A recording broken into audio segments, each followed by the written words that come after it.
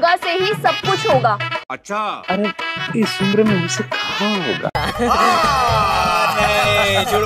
चलिए अब आप लंबी सी सांस लीजिए। सुनो जी ज़्यादा भी मत खींच लेना कि बाहर ही ना निकल। क्या बोला तूने? कि बाहर ही ना निकल। समझ रहे हो? समझ रहे हो? सेक्स के बारे में बताया जाता है। आपको तो पता ही होगा। हाँ।